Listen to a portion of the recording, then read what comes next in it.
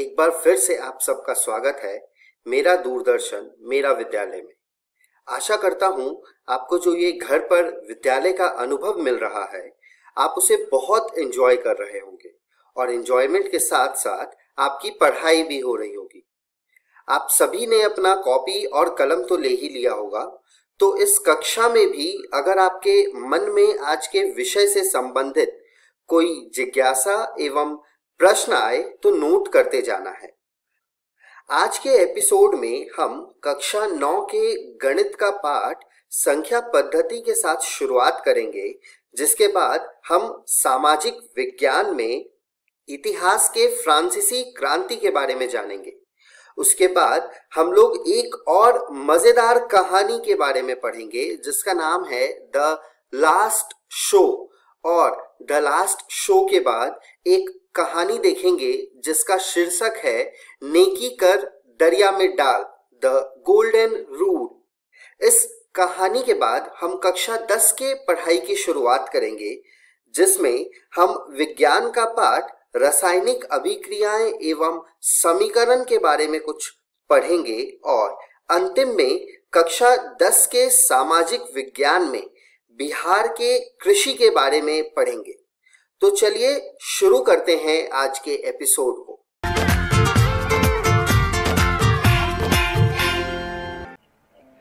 नमस्कार दोस्तों, आज हम कक्षा नवी की गणित का पाठ संख्या पद्धति भाग एक पढ़ने वाले हैं। आज की इस वीडियो में हम पढ़ेंगे संख्या पद्धति का परिचय, परिमेय संख्याएँ, अपरिमेय संख्याएँ। संख्या पद्धति के बारे में जानने से पहले हम सबसे पहले जानेंगे संख्या रेखा के बारे में। संख्या रेखा एक ऐसी रेखा है जिस पर हम संख्या को निरूपित करते हैं, जहाँ मध्य में शून्य होता है। जब आप शून्य की दाई ओर जाएँगे तो आपको मिलेंगे धनात्मक संख्या। जब आप शून्य के बाई ओर जाएँगे तो आपको मिलेंगे ऋणात्मक संख्या। अब हम बढ़ते हैं संख्याओं का वर्गीकरण की तरफ़। संख्या अनेक प्रकार की होती है, इसलिए हमने उसे अलग अलग वर्ग में विभाजित किया है। सबसे पहले आते हैं प्राकृत संख्याएँ, फिर पूर्ण संख्याएँ, फिर पूर्णांक, फिर परिमेय संख्याएँ और फिर अपरिमेय संख्याएँ। आइए जानते हैं प्राकृत संख्याओं के बारे में। गणन संख्याएँ को हम प्राकृत संख्याएँ कहते हैं। एक से शुरू होकर अनंत तक की सभी संख्याओं को हम प्राकृत संख्याएँ कहते हैं। जैसे एक, दो, तीन, चार, पाँच इत्यादि। प्राकृत संख्या के संग्रह को हम प्रतीक n से प्रकट करते हैं। अब हम बढ़ते हैं पूर्ण संख्याएँ की तरफ़। प्राकृत संख्याएँ शून्य के साथ मिलकर पूर्ण संख्याओं का संग्रह बनाती है। शून्य से शुरू होकर अनंत तक की सभी संख्याओं को हम पूर्ण संख्याएँ कहते हैं। जैसे शून्य, एक, दो, तीन, चार, पाँच इत्यादि, ये सभी पूर्ण संख्याएँ में आते हैं। पूर्ण संख्या के संग्रह को हम प्रतीक W से प्रकट करते हैं। प्राकृत संख्याएँ और पूर्ण संख्याएँ के बारे में जानने के बाद हम यह कह सकते हैं कि सभी प्राकृत संख्याएँ पूर्ण संख्याएँ होती हैं। अब हम बढ़ते हैं पूर्णांक की तरफ़। स्क्रीन पर आप जो संख्याएँ देख रहे हैं, वो सभी ऋणात्मक संख्याएँ हैं। संख्या रेखा पर शून्य, जो ना धनात्मक, न ऋणात्मक, केवल पूर्णांक है। शून्य की दाई ओर जो संख्या है, उन्हें हम धनात्मक पूर्णांक कहते हैं। शून्य की बाई ओर जो संख्याएँ हैं, उन्हें हम ऋणात्मक पूर्णांक कहते हैं। पूर्ण संख्याएँ ऋणात्मक संख्याओं के साथ मिलकर संख्याओं का एक संग्रह बनाती है, जिसे हम पूर्णांक कहते हैं। पूर्णांक को हम प्रतीक z से प्रकट करते हैं। अब हम बढ़ते हैं परिमेय संख्याएँ की तरफ़। स्क्रीन पर आप जो संख्याएँ देख रहे हैं, वो या तो प्राकृत संख्याएँ हैं, या पूर्ण संख्याएँ, या पूर्णांक है। पर कुछ संख्याएँ ऐसी भी होती हैं, जैसे एक बटे तीन, पाँच बटे छह इत्यादि।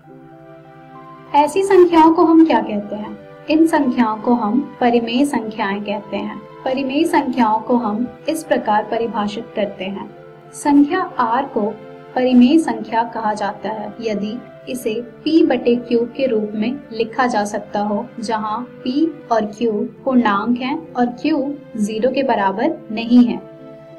परिमेय संख्या के संग्रह को हम प्रति q से प्रकट करते हैं। आइए कुछ उदाहरण देखते हैं। एक बटे दो, तीन बटे चार, घटा दो शून्य शून्य पाँच बटे दो शून्य शून्य छ, घटा बारह बटे तेरह, घटा तीस, घटा पच्चीस इत्यादि। आप सोच रहे होंगे कि घटा तीस, घटा पच्चीस, ये तो पूर्णांक है। फिर ये परिमेय संख्या कैसे हुई? आइए जानते हैं कैसे। हमने एक संख्या ली घटा पच्चीस। घटा पच्चीस को हम घटा पच्चीस बटे एक भी लिख सकते हैं, जहाँ घटा पच्चीस हमारा p होगा और एक हमारा q और आप देख सकते हैं कि q हमारा ज़ीरो के बराबर नहीं है। इससे हम यह कह सकते हैं कि सभी पूर्णांक परिमेय संख्या होती है। चलिए, अब हम दो और तीन के बीच की पाँच परिमेय संख्याएँ को ज्ञात करते हैं। आइए संख्या रेखा पर देखते हैं कि दो और तीन कहाँ हैं। यहाँ है दो और तीन। और आप देख सकते हैं कि दो और तीन के बीच में अनेक संख्याएँ होंगी। दो और तीन की परिमेय संख्या को ज्ञात करने के लिए हम दो और तीन को जोड़ते हैं और फिर उसे दो से भाग दे देते हैं। यानी दो जोड़ तीन बटे दो, जो कि आएगा हमारा पाँच बटे दो, जो हो जाएगा दो दशमलव पाँच, जो संख्या रेखा पर यहाँ पर स्थित होगा। इसी प्रक्रिया में हम दो और तीन के बीच चार और परिमेय संख्याएँ ज्ञात कर सकते हैं, जैसे दो जोड़ दो दशमलव पाँच बटे दो, जो कि हो जाएगा हमारा चार दशमलव पाँच बटे दो, जो कि होगा दो दशमलव दो पाँच, जो कि संख्या रेखा पर यहाँ होगा। इसी प्रक्रिया में हम दो दशमलव पाँच और तीन को जोड़कर दो से भाग दे देंगे, जो कि आएगा हमारा दो दशमलव सात पाँच, जो कि संख्या रेखा पर यहाँ होगा। फिर हम दो और दो दशमलव दो पाँच को जोड़कर दो से भाग देने के बाद हमारी संख्या आएगी दो दशमलव एक दो पाँच, जो कि संख्या रेखा पर यहाँ होगी। अब हम दो दशमलव सात पाँच और तीन को जोड़कर दो से भाग देने के बाद एक परिमेय संख्या को ज्ञात करेंगे, जो कि आएगा हमारा दो दशमलव आठ सात पाँच, जो कि संख्या रेखा पर यहाँ होगा इससे हमने यह अनुभव किया कि किन्हीं दो दी हुई परिमेय संख्याओं के बीच अपरिमित रूप से अनेक परिमेय संख्याएँ होती हैं। अब हम बढ़ते हैं अपरिमेय संख्याएँ की तरफ़ अपरिमेय संख्याएँ की परिभाषा कुछ इस प्रकार है। संख्या r को अपरिमेय संख्या कहा जाता है। यदि इसे p बटे q के रूप में ना लिखा जा सकता हो, जहाँ p और q पूर्णांक है और q ज़ीरो के बराबर नहीं है। आइए कुछ उदाहरण देखते हैं। वर्गमूल दो, वर्गमूल तीन, वर्गमूल पंद्रह, पाई ज़ीरो दशमलव एक शून्य एक एक, और ये चलता जाएगा अनंत तक इत्यादि। अब हम संख्या रेखा पर वर्गमूल दो का स्थान निर्धारण करेंगे। सबसे पहले हम एक संख्या रेखा बनाएँगे, जिस पर हम एक समकोण त्रिभुज बनाएँगे, जिसका आधार होगा एक मात्रक और लंब होगी एक मात्रक हमने यहाँ शून्य और एक को बिंदु O और बिंदु A लिया है, जो कि होंगे हमारे एक मात्रक अब हम बिंदु ए पर एक लंब बनाएँगे। जो कि होगा हमारा एकमात्र, जिसे हमने बिंदु बी लिया है। अब हम बिंदु ओ और बिंदु बी को जोड़ देंगे, जिससे हमें मिल जाएगा एक समकोण त्रिभुज। तब हम पाइथागोरस प्रमेय द्वारा ओबी की लंबाई ज्ञात कर सकते हैं, जो कि होगा वर्गमूल ए का वर्ग जोड़ बी का वर्ग, जहाँ ए है हमारा एक मात्रक और बी है हमारा एक मात्रक जिससे हमारा ओबी हो जाएगा वर्गमूल दो। अभी आपने देखा कि ओबी वर्गमूल दो है। अब हम एक प्रकार की सहायता से ओ को केंद्र और ओबी को त्रिज्या मानकर एक चाप आर खींचेंगे, जो कि संख्या रेखा को काटता हो बिंदु डी पर। तब बिंदु डी संख्या रेखा पर वर्गमूल दो के संगत होगा। आज के इस वीडियो में हमने सीखा परिमेय संख्याएँ।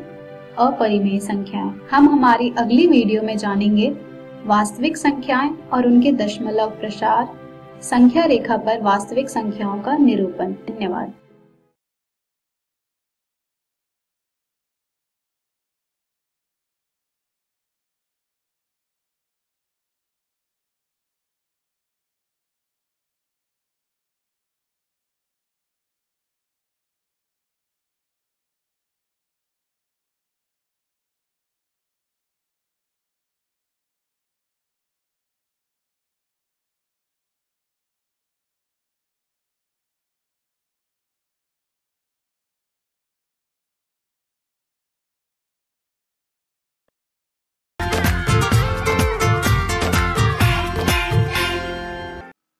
नमस्ते दोस्तों, आप सभी को पता है कि हम हर साल 15 अगस्त को स्वतंत्रता दिवस के रूप में मनाते हैं, क्योंकि उस दिन हमारे भारत को स्वतंत्रता मिली थी। मगर इस स्वतंत्रता को पाने के लिए कई सारे लोगों को कुर्बानियाँ देनी पड़ी है और कई सारी क्रांतियाँ चली है। इसी तरह विश्व में लगभग सभी देशों में अलग अलग समय में क्रांति हुई है स्वतंत्रता के लिए। कभी विदेशी मुल्क से तो कभी अपने ही तानाशाही राजाओं से। आपके इतिहास के पहले पार्ट में भी एक ऐसी ही क्रांति की बात हुई है। ये है फ्रांस की क्रांति, फ्रांसीसी क्रांति।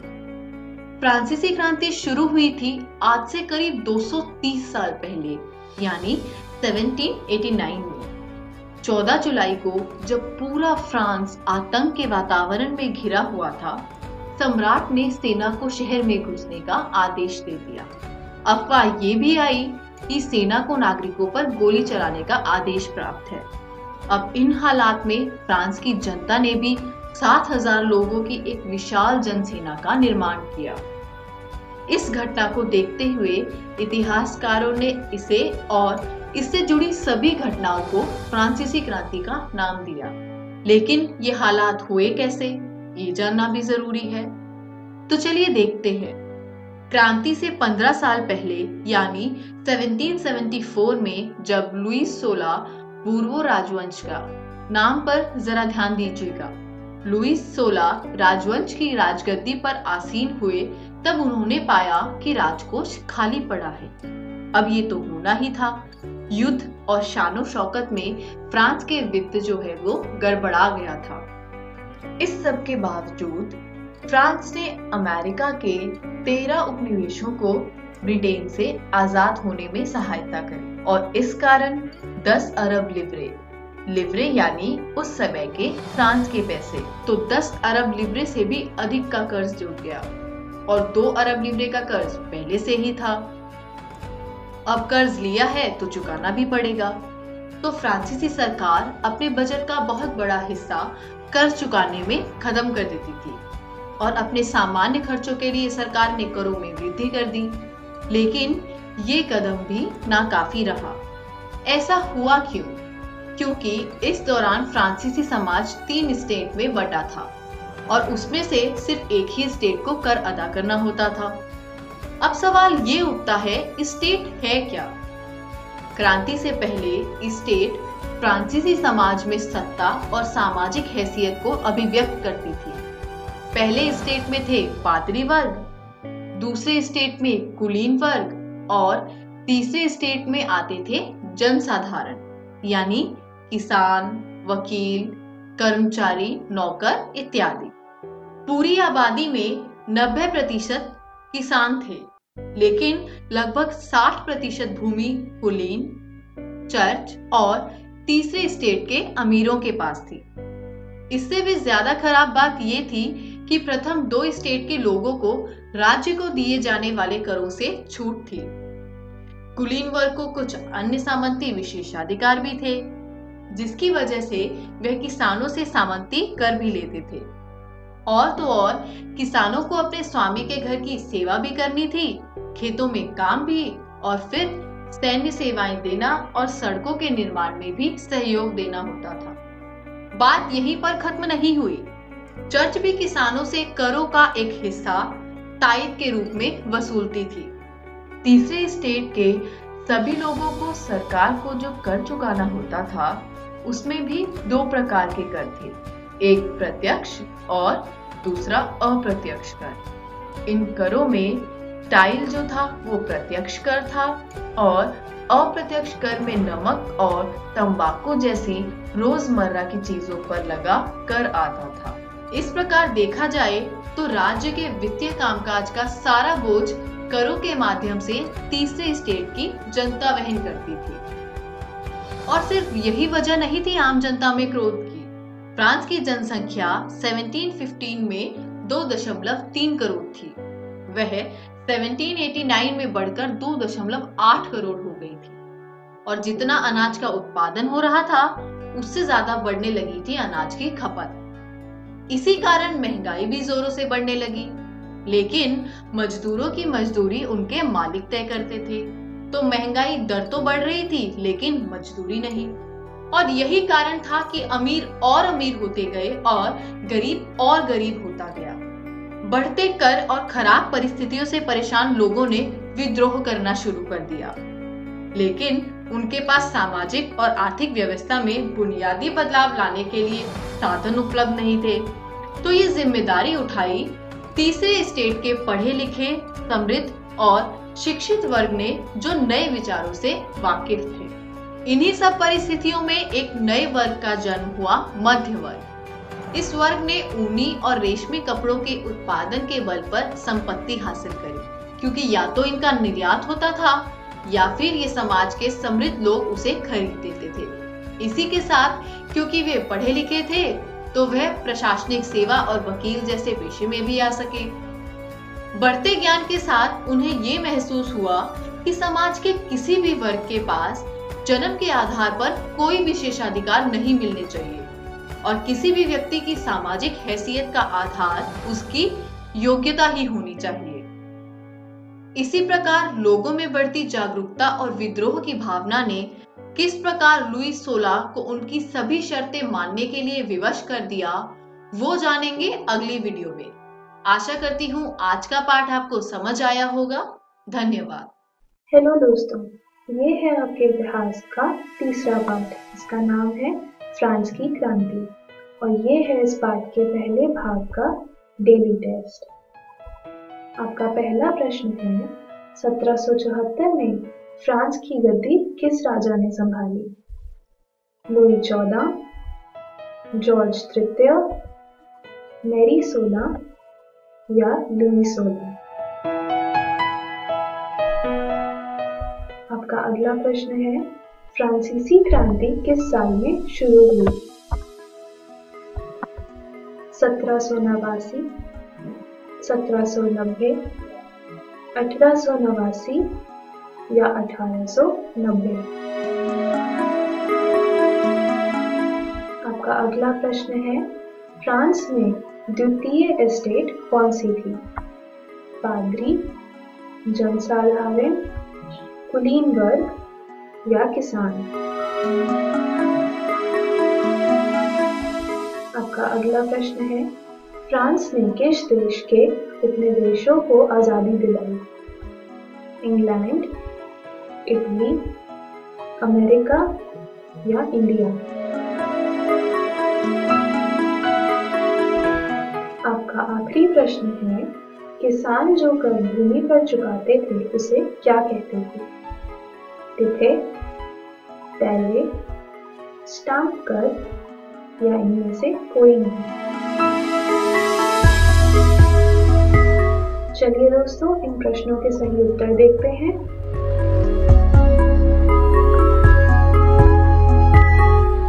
धन्यवाद।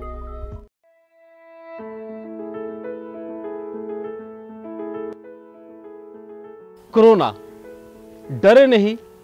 एहतियात बरतें। ग्रामीण भाइयों और बहनों, टीवी, मोबाइल, समाचार पत्रों के माध्यम से आप इस महामारी कोरोना के बारे में जान गए होंगे। ये आप जानते हैं कि सावधानी इलाज से बेहतर है। आप भी उत्सुक होंगे ये जानने के लिए कि अभी के स्थिति में अपने गाँव में कोरोना नामक इस महामारी को फैलने से रोकने के लिए क्या करें? तो आप ये कार्य अवश्य करें। भीड़ भाड़ से बचे। अधिकतर समय अपने घर में अपने परिवार के सदस्यों के साथ बिताएँ। अगर निहायत ही ज़रूरी हो तो कम से कम सदस्य घर से बाहर निकले। बाहर से लौटे तो हाथ साबुन से अच्छी तरह धोए। बहुत लोगों के साथ बैठने की आदत है। तो उसे कुछ दिनों के लिए स्थगित कर दे। शादी, ब्याह, कोई भी बड़ा आयोजन अगर पहले से तय नहीं है तो उसे स्थगित कर दे। अगर तय है तो बहुत बड़ा आयोजन ना करे। समारोह में उपस्थित लोग एक दूसरे के बीच कम से कम एक मीटर की दूरी बना कर रखें, ताकि संक्रमण ना फैल पाए। यदि बहुत आवश्यक ना हो तो धार्मिक, सामाजिक और सांस्कृतिक कार्यक्रमों को स्थगित कर दे, क्योंकि ऐसे आयोजनों में अधिक लोग इकट्ठा हो जाते हैं और संक्रमण का खतरा बढ़ जाता है।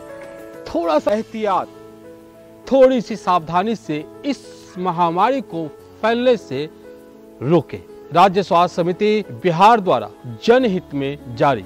अधिक जानकारी के लिए संपर्क करें, टोल फ्री नंबर एक शून्य चार पर। आइए बच्चों देखते हैं एक कहानी जिसका नाम है द लास्ट शो सबसे अच्छी कहानी वो होती है जिसमें किसी दूसरे को एक और चांस मिलता है। खेत बर्बाद हो रहे हैं। लोग समझ क्यों नहीं रहे हैं कि प्लास्टिक को यूँ जलाने से प्रदूषण हो रहा है? ये बेकार खाद की वजह से हो रहा है। ये ऑर्गेनिक फ़ार्मिंग ना करने का नतीजा है। मौसम से भला कौन जीत पाया है? मैं भी पत्रकार हूँ। ऐसे हार नहीं मानूँगी। समस्या को जड़ से मिटाने के लिए रिसर्च करूँगी। नोट्स बनाऊँगी। तुम्हारे पिता टूट चुके हैं, समीरा। वो लोगों से हार गए हैं, बेटा। मैं उन्हें हारने नहीं दूँगी। ये हम सबकी लड़ाई है। लेकिन गाँव वालों को ऑर्गेनिक फ़ार्मिंग के लिए मनाएगा कौन? भोली बुआ। क्यों नहीं? उनकी हेल्प लेने में क्या बुराई है? एक्टिंग की दुनिया ने मुझे बर्बाद कर दिया था। मैं दोबारा उस दुनिया में नहीं लौट सकती हूँ। बुआ, आपको अपने भाई के लिए एक बार फिर से एक्टिंग की दुनिया में लौटना होगा। अगर प्रॉब्लम इतनी गंभीर है तो मैं अपने भाई के लिए किसी भी हद तक जा सकती हूँ। लेकिन ये मेरा लास्ट शो होगा।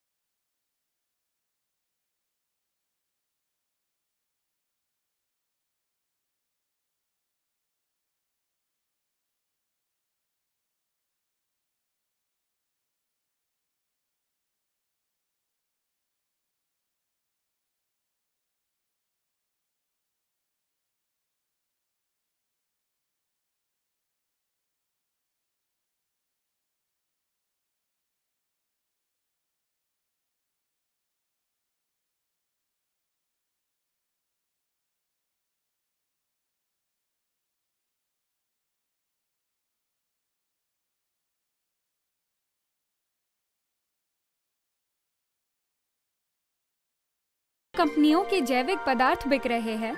उनकी सूची बनाइए और देखिए उनकी क्या कीमत है। चौथा दिन, दल के साथ मीटिंग। अपनी टीम के साथ ये तय करें कि आगे और शोध की ज़रूरत है या आपके पास सारी जानकारी है। कृषि केंद्र की ओर बढ़िए और आगे जानकारी इकट्ठा करें। फिर प्लान पे काम चालू करिए। पांचवा दिन बिज़नेस प्लान बनाना। साथ मिलकर बिज़नेस प्लान बनाइए और अपने टीचर को दीजिए। फिर दूसरी कहानी चुने। उन्हें देखे पढ़े और उन पर एक्शन ले क्योंकि जवान उद्यमी कभी नहीं रुकते। चलिए एक और कहानी पढ़ते हैं जिसका नाम है नेकी कर दरिया में डाल। गंगा को मैला करने में प्लास्टिक की अहम भूमिका है। हमें कुछ करना होगा। हर कोशिश के पीछे एक प्लान होता है। किसी को तो शुरुआत करनी होगी। पाइपलाइन बिछाने के लिए इस पेड़ को काटना पड़ेगा। ये महज पेड़ नहीं है। हमारे शहर की साँसें है। इसे बचाना होगा। लेकिन क्या करे? वाह! बहुत सुंदर। लड़कियों ने कर दिखाया। पेड़ पर मधुबनी पेंटिंग कमाल कर दिया। कौन है ये गुमनाम कलाकार? शायद वो। मधुबनी सिर्फ़ पेंटिंग्स नहीं है, बल्कि एक अभियान है, जिससे दुनिया बदली जा सकती है। हमें सभी लोगों को साथ जोड़ना होगा। और प्लास्टिक का क्या करें? उसे रिसाइकल करके दोबारा इस्तेमाल लायक बनाना होगा। लेकिन ये सब अकेले नहीं होगा। और लोगों की ज़रूरत पड़ेगी।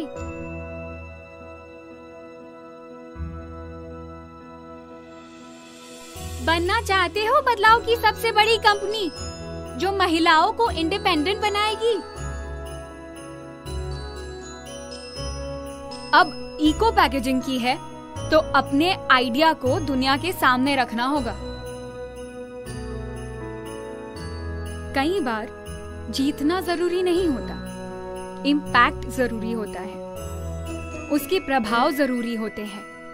इसी को इनोवेशन या रचनात्मकता कहते हैं। हमने कोशिश की है और कोशिश करने वालों की कभी हार नहीं होती है। आप क्या सोच रहे हैं? आइए और जुड़िए हमारे साथ। प्रकृति का यही तो गोल्डन रूल है। नेकी कर दरिया में डाल। पाँच दिन का प्रोजेक्ट है। आप इसे चार चार के ग्रुप में जाकर पूरा करेंगे। पहला दिन। क्षेत्र में जाकर शोध कीजिए। आप अपने आसपास के दुकानदारों से मिले और पूछे कि वो उनके उत्पादों की किस तरह पैकेजिंग करते हैं और क्यों। ये भी पूछे कि ज़्यादातर उत्पाद प्लास्टिक में लिपटे हुए ही क्यों आते हैं? यदि पैकेजिंग प्लास्टिक की है तो वे उसे नष्ट कैसे करते हैं? इस काम के लिए लगने वाली पूंजी इसके विकल्प उनके प्रतियोगी आदि सब के बारे में विस्तार से पूछे। हर छोटी और बड़ी जानकारी का वीडियो बनाइए और तस्वीरें ले। दूसरा दिन क्षेत्र में जाकर शोध करने का दूसरा चरण पड़ोसी परिवारों के पास जाएँ, उनसे पूछे कि वो महीने में कितनी चीज़ें खरीदते हैं। उनमें से कितनी चीज़ें प्लास्टिक की पैकेजिंग में आती है। और यदि उन्हें ये चीज़ें पर्यावरण संरक्षक टिकाऊ चीज़ों की बनी हुई जैसे जूट की पैकेजिंग में मिले तो क्या वो इसके लिए अधिक कीमत देंगे? तीसरा दिन, बाज़ार में जाकर शोध। उन दुकानों में जाइए जहाँ पर्यावरण संरक्षक पैकेजिंग में उत्पाद बिकते हो। ये कौन से उत्पाद है? और उनकी कीमत क्या है? इसकी एक सूची बनाइए। अब उन दुकानों में जाइए, जहाँ प्लास्टिक के पैकेजिंग में उत्पाद बिकते हैं। उन उत्पादों की सूची बनाइए और कीमत भी लिखे। अब पर्यावरण संरक्षक टिकाऊ पैकेजिंग बनाने वाली अपने क्षेत्र की कंपनियों से मिलिए और उनसे इसकी पूरी प्रक्रिया जानिए। चौथा दिन, अपने दल के साथ बैठक कीजिए। अब एक साथ मिलकर पता लगाइए कि कचरे का आखिर होता क्या है। इसे कबाड़ वाले उठाते हैं? क्या इसके लिए कोई कंपनियाँ हैं? ये रिसाइकल होता है या नहीं? क्या इस कचरे को जलाया जा रहा है? हर जानकारी के नोट्स और तस्वीरें ले। इस आधार पर अपनी पैकेजिंग का प्रोटोटाइप बनाएँ और इसका लोगो पर परीक्षण भी करें। पांचवा दिन। अब जब आपके पास सारी जानकारी आ चुकी है तो एक दल के तौर पर अपनी व्यवसाय योजना बनाकर उसे अपनी शिक्षिका को मूल्यांकन के लिए दे। इसके बाद आप एक और गेट प्लान कहानी देखें। फिर उसकी शोध योजना पर कार्यवाही भी करें, क्योंकि दुनिया प्लास्टिक की पैकेजिंग के बेहतरीन विकल्प का बेसब्री से इंतज़ार कर रही है।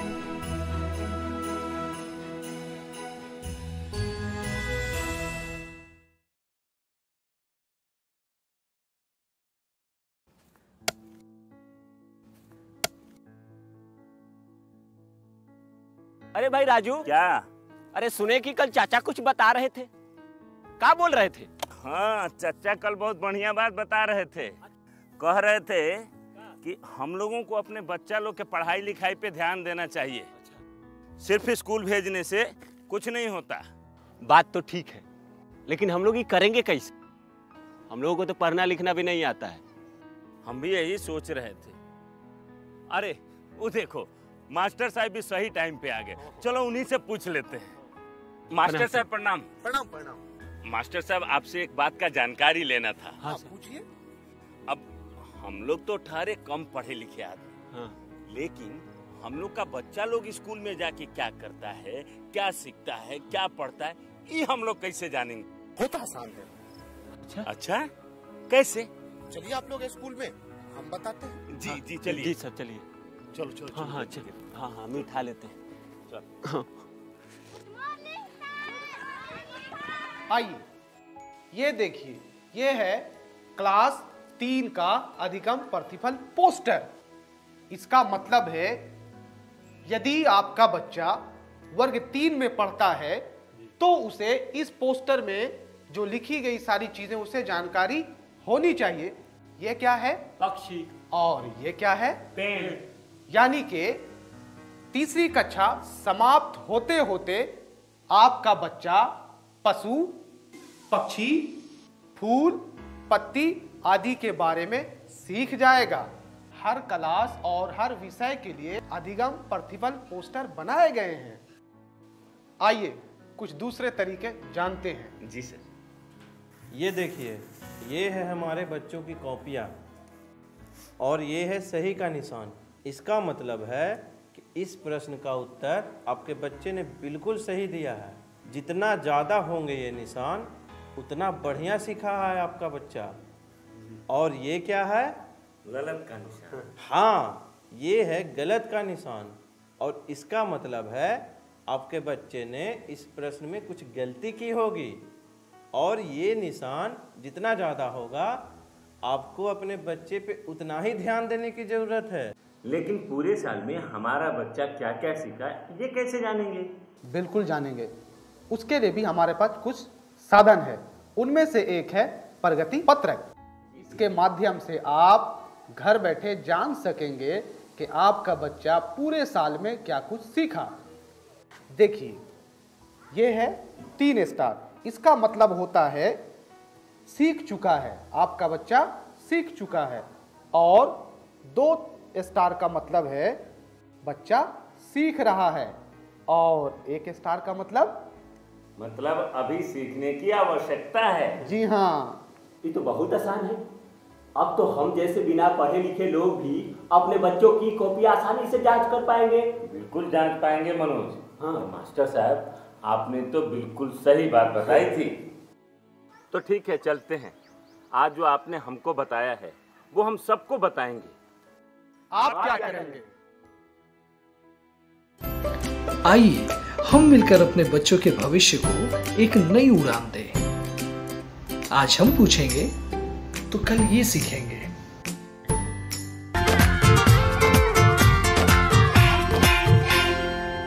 नमस्कार दोस्तों आज हम रासायनिक अभिक्रियाएँ एवं समीकरण का दूसरा भाग करेंगे।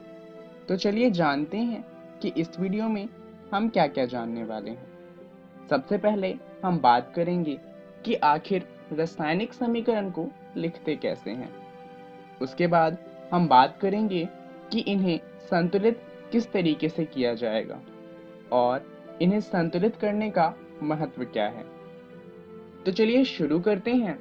ये जानते हुए कि आखिर रासायनिक समीकरण को लिखा किस तरीके से जाता है। किसी रासायनिक अभिक्रिया के प्रतीकात्मक निरूपण को रासायनिक समीकरण कहते हैं। इसके लिए, जैसा कि हम जानते हैं कि हर तत्व का अपना एक प्रतीक होता है, जैसे कि ऑक्सीजन के लिए हम O का इस्तेमाल करते हैं, सोडियम के लिए हम Na का इस्तेमाल करते हैं, और लिथियम के लिए हम Li का इस्तेमाल करते हैं। तो रासायनिक समीकरण लिखते समय हम इन्हीं प्रतीकों का इस्तेमाल करते हैं ताकि रासायनिक समीकरण को संक्षेप बनाया जा सके। इससे पहले कि रासायनिक समीकरण लिखने का हम कोई उदाहरण देखें, कुछ नियम हैं, उनके बारे में जान लेते हैं। हम जितने भी अभिकारक होते हैं, उन्हें बाई तरफ़ लिखते हैं, और जितने भी उत्पाद होते हैं, उन्हें दाई तरफ़ लिखते हैं। अगर अभिकारक या उत्पाद एक से ज़्यादा है तो उनके बीच में अंतर स्पष्ट करने के लिए हम उनके बीच में एक प्लस का चिन्ह लगाते हैं। अब हम एक तीर का सिरा लगाते हैं, जो हमें ये बताता है कि उत्पाद की दिशा क्या है और अभिक्रिया किस दिशा में हो रही है। जैसे कि आप देख सकते हैं, अभिकारक प्लस अभिकारक हमें बता रहा है कि ये दोनों मिलके एक उत्पाद बना रहे हैं। यहाँ पर दो उत्पाद हैं, इसलिए बीच में एक प्लस का चिन्ह लगाया गया है। चलिए अब एक उदाहरण देखते हैं, जिससे हमें समीकरण लिखने में आसानी होगी। बात करते हैं ऑक्सीजन तथा हाइड्रोजन से जल के निर्माण की। यहाँ पर हाइड्रोजन के लिए हम H2 का इस्तेमाल करेंगे।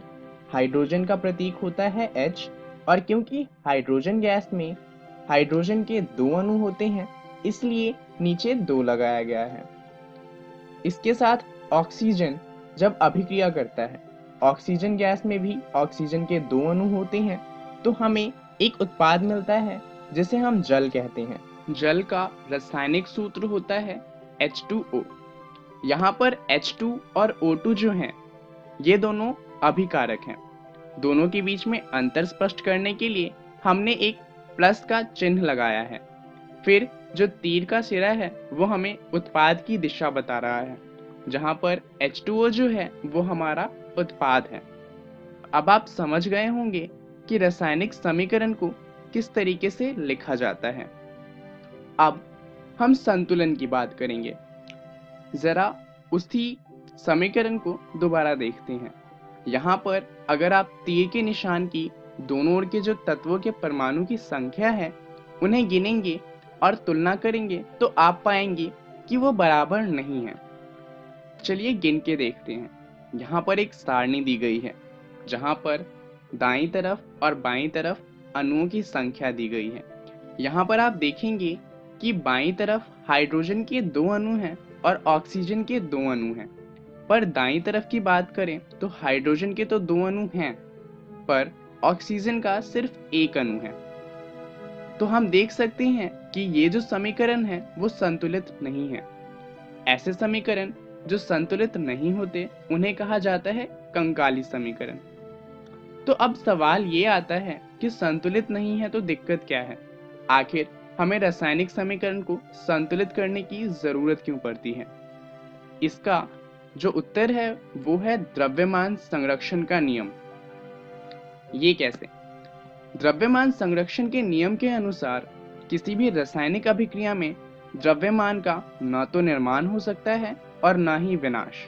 अब अगर इस समीकरण को दोबारा देखें तो आप देख सकते हैं कि जो अभिकारक हैं, उनमें एक ऑक्सीजन का अणु ज़्यादा है और जो उत्पाद है, उसमें ऑक्सीजन का एक अणु कम है।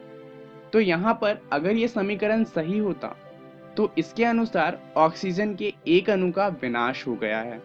परंतु द्रव्यमान का संरक्षण का नियम कहता है कि अणु का विनाश नहीं हो सकता। इसका मतलब जो हमारा ये समीकरण है, वो गलत हो जाता है। तो एक बात तो साफ़ है, अगर हम चाहते हैं कि हमारा समीकरण सही हो तो उत्पाद के तत्वों का कुल द्रव्यमान बराबर होना चाहिए, अभिकारक के तत्वों के कुल द्रव्यमान के। अगर ऐसा नहीं होता तो हमारा समीकरण संतुलित नहीं होगा, और वो गलत होगा। तो अब आप समझ सकते हैं कि समीकरण को संतुलित करना क्यों महत्वपूर्ण हो जाता है। तो चलिए जानते हैं कि आखिर इन्हें संतुलित किया कैसे जाएगा। उदाहरण में वही समीकरण लेते हैं। हाइड्रोजन जब ऑक्सीजन के साथ अभिक्रिया करता है तो जल प्रदान करता है। अब आप सोच रहे होंगे कि समीकरण को बराबर करना है तो H2O की जगह H2O2 लगा देते हैं। समीकरण बराबर हो जाएगा। परंतु हम ऐसा नहीं कर सकते। क्यों? क्योंकि जो तत्व हैं, उनके रासायनिक सूत्रों को नहीं बदला जा सकता। तो आखिर अब बराबर किया कैसे जाएगा? हम तत्वों के रासायनिक सूत्रों को संख्याओं से गुना करके इन्हें बराबर करने का प्रयास करेंगे। चलिए देखते हैं कि ये किस तरीके से होगा। सबसे पहले हम दाई और बाई ओर के तत्वों की गणना करेंगे। यहाँ पर अगर आप ध्यान दें तो बाई तरफ़ हाइड्रोजन के दो अणु हैं। और ऑक्सीजन के दो अणु हैं। वहीं दाईं तरफ़ हाइड्रोजन के दो अणु हैं और ऑक्सीजन का एक अणु है। तो अगर दाईं तरफ़ के समीकरण को हम दो से गुना कर दें तो ऑक्सीजन के अणु बराबर हो जाएँगे। तो हम ऐसा ही करेंगे। हम जो दाईं तरफ़ समीकरण लिखा है, उसे दो से गुना करेंगे। अब इससे क्या होगा? यहाँ पर आप ध्यान दें तो ऑक्सीजन के अणु तो बराबर हो गए। परंतु हमने दो से गुना किया है तो वो पूरी समीकरण से गुना होगा। तो ओ का दो हो जाएगा, परंतु जो हाइड्रोजन पहले से दो है, अब वो चार हो जाएँगे। तो अब ऑक्सीजन तो बराबर हो चुका है, परंतु हाइड्रोजन बराबर नहीं है। तो यहाँ पर अगर हम देखें तो बाई तरफ़ हाइड्रोजन के दो अणु हैं और दाई तरफ़ चार। तो बाई तरफ़ के समीकरण में हाइड्रोजन को दो से गुना करने पे समीकरण बराबर होता हुआ दिखता है। तो हम ऐसा ही करेंगे। हम बाई तरफ़ में जो हाइड्रोजन है, उसको दो से गुना करेंगे। इससे क्या होगा कि बाईं तरफ़ हाइड्रोजन के चार अणु हो जाएँगे। अब आप देखें तो समीकरण बराबर हो चुका है, क्योंकि समीकरण की तीर के निशान के दोनों तरफ़ तत्वों के परमाणुओं की संख्या बराबर है, और जो हमारा संतुलित समीकरण है, वो कुछ इस प्रकार का दिखाई देगा।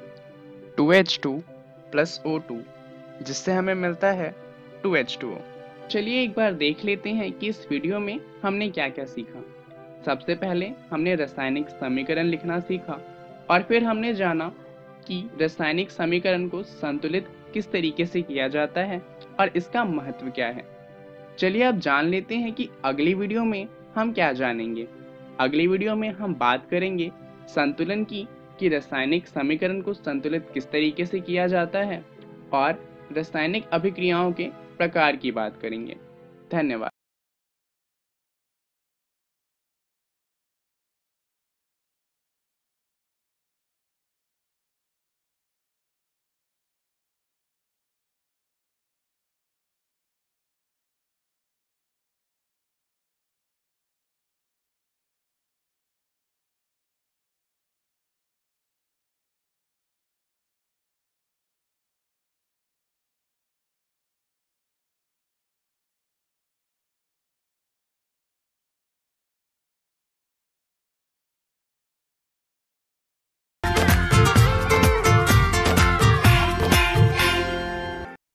नमस्कार दोस्तों, आज हम एक और नया अध्याय पढ़ने वाले हैं। अध्याय का नाम है कृषि। आज हम इस अध्याय का पहला भाग पढ़ेंगे। इस अध्याय को पढ़ने से पहले देख लेते हैं, आज हम क्या क्या पढ़ने वाले हैं। आज के इस अध्याय में हम भारतीय कृषि के बारे में जानते हुए, भारत में कृषि का महत्व, भारत में कृषि भूमि उपयोग, शुष्क भूमि कृषि की विशेषताएँ और गरीबों के उत्थान की योजनाएँ इत्यादि बिंदुओं पर चर्चा करेंगे। तो चलिए शुरू करते हैं। दोस्तों, भारत कृषि की दृष्टि से एक संपन्न राष्ट्र है। यहाँ विभिन्न प्रकार की उपजाऊ मिट्टी पाई जाती है। वर्ष भर पर्याप्त तापमान के कारण फ़सलों के लिए लंबा वर्धन काल मिल जाता है। इसके अलावा हिमालयों से निकलने वाली सतवाहिनी नदियों में ग्लेशियरों के पिघलने की वजह से वर्ष भर जल रहता है। अर्थात इन नदियों को सदा नीरा नदियाँ भी कहा जाता है। साथ ही मानसूनी वर्षा भी भूमिगत जल और सतही जल का पुनः भरण करती है। भारत की कृषि संपदा को यह प्रकृति का अनूठा उपहार है। दोस्तों, मानसून के स्वभाव के कारण कृषि निर्धारण में वर्षा का बहुत महत्व है। अधिकांश भागों में तीन से चार महीने तक ही बारिश होती है और वह भी असमान और अनियमित। इस कारण अधिकांश क्षेत्रों में एक ही फ़सल उगाई जाती है। मात्र 15 प्रतिशत क्षेत्रों में ही साल में दो से अधिक फ़सल उगाई जाती है। और ये ऐसे क्षेत्र होते हैं जहाँ पर सिंचाई की सुविधा होती है। इस प्रकार भारत के अधिकांश क्षेत्रों में शुष्क खेती का प्रचलन है। दोस्तों, वर्षा की सहायता से विकसित कृषि प्रणाली को शुष्क कृषि कहते हैं। आइए भारत में कृषि के महत्व को समझते हैं। कृषि भारत के आर्थिक जीवन का प्राण है। भारत में लगभग दो तिहाई लोगों की जीविका कृषि पर ही आधारित है। यहाँ की विशाल जनसंख्या के लिए भोजन कृषि से ही प्राप्त होता है। कच्चे माल के लिए भी कृषि उत्पादों की ज़रूरत होती है, जैसे कपास, गन्ना, जूट इत्यादि। इसके अलावा कृषि का आंतरिक तथा अंतर्राष्ट्रीय व्यापार में बहुत बड़ी भूमिका है। राष्ट्रीय आय में कृषि का महत्वपूर्ण योगदान है। देश की 24 प्रतिशत आय कृषि से ही प्राप्त होती है। चलिए दोस्तों, अब बात करते हैं भारत में कृषि भूमि उपयोग की। दोस्तों, कृषि पर आश्रित लोगों के लिए भूमि अत्यंत ही महत्वपूर्ण साधन है। क्योंकि यह कृषि पूरी तरह भूमि पर ही निर्भर है। इसलिए गाँव में भूमिहीन और गरीबों के बीच सहसंबंध देखने को मिलता है। अर्थात जो भूमिहीन हैं, वही अधिकांश गरीब हैं। दोस्तों, फ़सलों के उत्पादन में भूमि की गुणवत्ता का भी व्यापक महत्व है, जबकि अन्य आर्थिक क्रियाकलाप जैसे उद्योग, परिवहन और आवास, इनके लिए भूमि की गुणवत्ता ज़्यादा महत्व नहीं रखती। ये बंजर और ऊसर भूमि पर भी लगाए जा सकते हैं। दोस्तों, स्थायी संपत्ति होने के कारण भूमि का सामाजिक महत्व भी है। इससे सामाजिक प्रतिष्ठा भी बढ़ती है। कर्ज के लिए इसे गिरवी भी रखा जा सकता है। इसके अलावा भूमिहीन इन सब लाभों से वंचित रह जाते हैं। दोस्तों, कृषि योग्य भूमि में चार तरह की भूमि सम्मिलित की जाती है।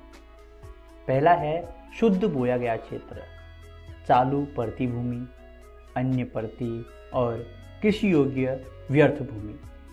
जनसंख्या के बढ़ने से कृषि योग्य भूमि पर काफ़ी दबाव बढ़ गया है और इसका गैर कृषि कार्यों में लगा उपयोग बढ़ता जा रहा है। ऐसी परिस्थिति में कृषि में उत्पादन दो ही रूपों में बढ़ाया जा सकता है। पहला है प्रति हेक्टेयर उपज में वृद्धि और दूसरा है शस्य गहनता कृषि।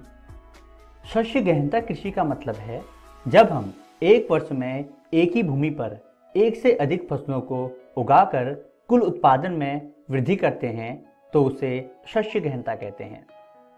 दोस्तों, हमें यह भी जान लेना चाहिए कि 75 सेंटीमीटर से कम वर्षा वाले क्षेत्रों में होने वाली कृषि को शुष्क भूमि कृषि कहते हैं, तथा 75 सेंटीमीटर से अधिक वर्षा वाले क्षेत्रों में होने वाली कृषि को आर्द्र भूमि कृषि कहते हैं।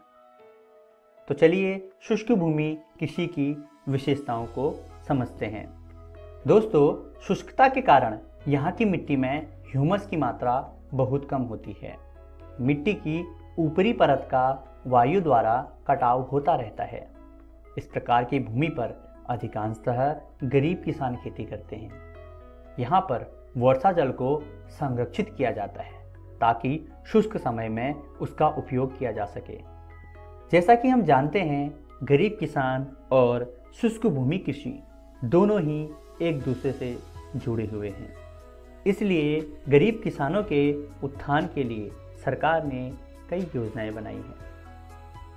सरकार ने ग्रामीण किसानों के लिए समन्वित ग्रामीण विकास कार्यक्रम, सूखा प्रमाण क्षेत्र विकास कार्यक्रम रोज़गार के बदले अनाज कार्यक्रम तथा नरेगा आदि कार्यक्रमों को चलाया है।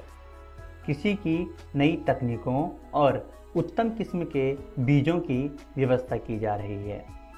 पशुपालन और मुर्गी पालन को भी कृषि सहायक कार्यों के रूप में विकसित किया जा रहा है। कुटीर एवं लघु उद्योगों को भी विकसित किया जा रहा है। चलिए दोस्तों देखते हैं आज की इस वीडियो में हमने क्या क्या सीखा। आज हमने भारत में कृषि का महत्व, भारत में कृषि भूमि उपयोग, शुष्क भूमि कृषि की विशेषताएँ और गरीबों के उत्थान की योजनाएँ इत्यादि बिंदुओं पर चर्चा की। अगली वीडियो में हम इसी अध्याय का अगला भाग पढ़ेंगे। अगली वीडियो में हम कृषि के प्रकार, फ़सल प्रारूप और भारत की मुख्य फ़सलों के बारे में चर्चा करने वाले हैं। तो बच्चों, आशा करते हैं आपको यह वीडियो बहुत पसंद आई होगी। मिलते हैं अगली वीडियो में। धन्यवाद।